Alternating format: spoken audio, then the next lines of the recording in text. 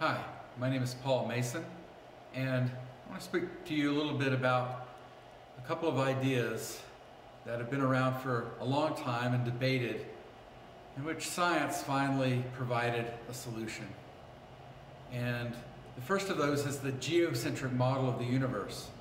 And that is the idea that the Earth is in the center of everything, in particular the uh, solar system as it was known in ancient times as the entire universe.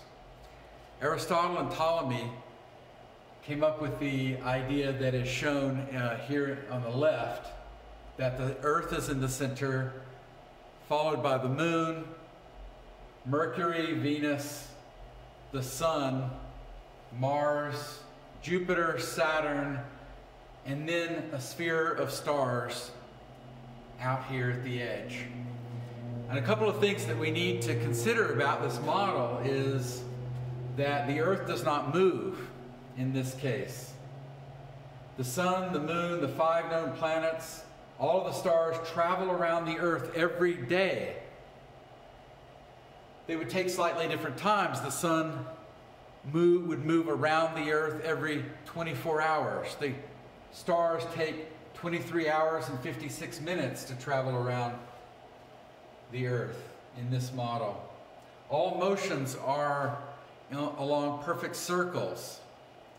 And uh, the planets, in order for certain complicated motions of the planets that were known, Ptolemy had to make uh, corrections or an addition to Aristotle's original ideas in terms of developing an actual mathematical model for uh, the orbits of the planets. And he developed the idea of epicycles, which um, are that the planets move along these small circles called epicycles, and the epicycles themselves orbit the Earth. Now, the alternative to that is the heliocentric model, which originates from Aristarchus in ancient Greece, but uh, Copernicus, by writing about this in his book,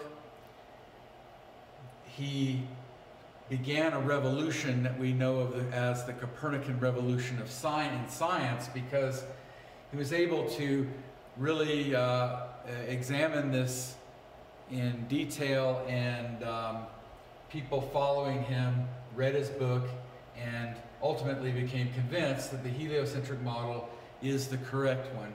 And that is the idea that the sun is located at the center of the universe, or as we think of today, the solar system. The sun in the center, followed by Mercury, Venus, the Earth, the moon orbiting the Earth, Mars, Jupiter, Saturn, and a ring of stars very far out in space.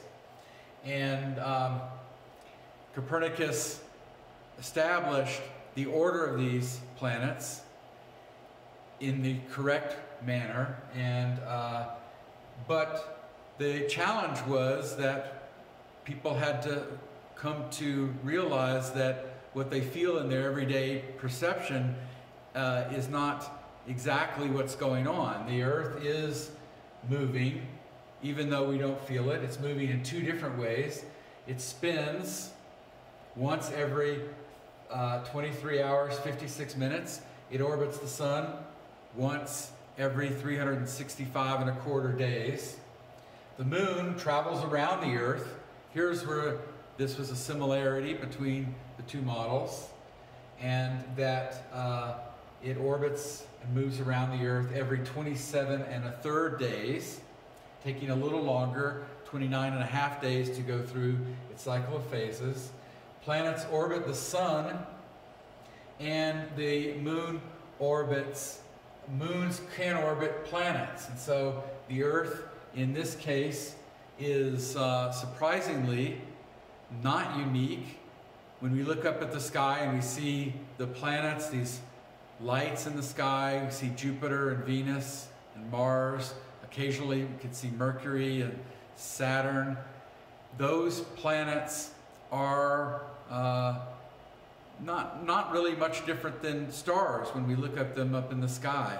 However, the idea that the Earth, which is where we live here, could be actually such a planet like the ones we see in the sky, or maybe even more significantly, that those planets we see up in the sky are like Earth, that was a startling discovery, and that's a discovery and uh, uh, um, testimony of the power of science in the ability to figure out this difficult question.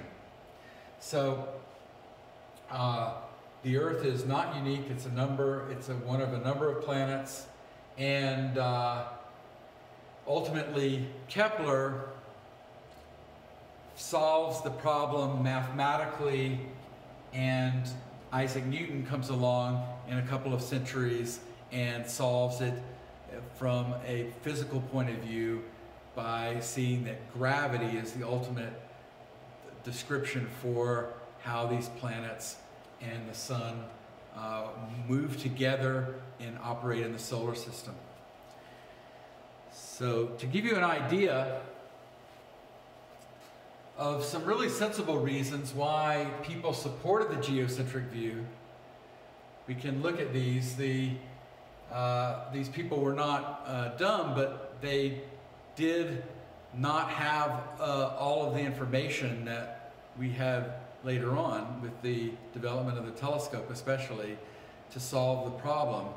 In particular, they uh, could argue if the heliocentric model is correct, then the Earth moves in to these two different ways. And it spins and orbits the sun, but we don't feel like we're moving. So this is a very strong argument uh, how this could happen. Maybe if the Earth was moving, birds, they would fly up away from their nests up into the sky. They would come back down. The Earth would have moved, and they wouldn't be able to find their nests.